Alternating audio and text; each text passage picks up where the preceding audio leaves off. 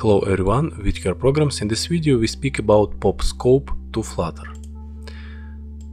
Now we create class home screen extends status widget add method build add constructor return and add scaffold then we update body write elevated button add on pressed add child text write home screen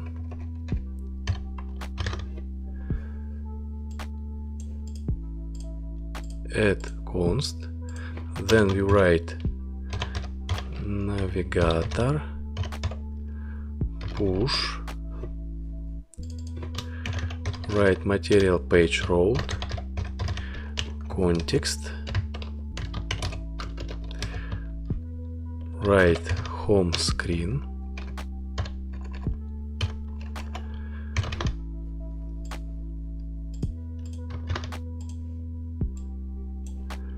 then we open emulator.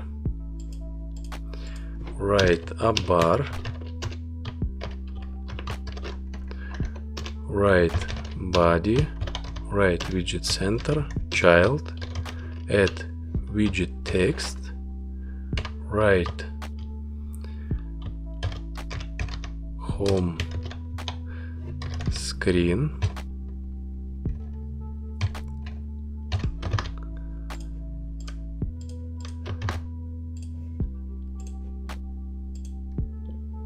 open home screen. Now we add PopScope. Add parameter on pop invoked. Write value. Then we add log. Add value to string save now we check to console we get true. Then we add parameter can pop write false and we block screen home screen. Open home screen and we can and we can't back to main screen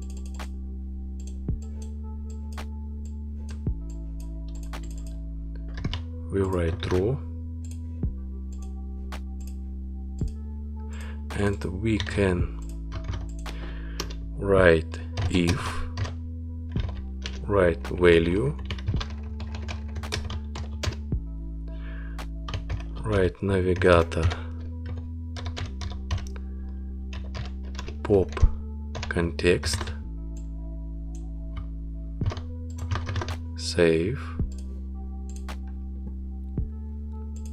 home screen we block this screen and we add if value false we select back to main screen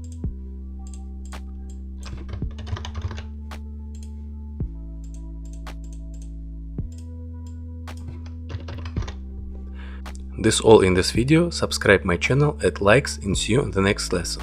Bye.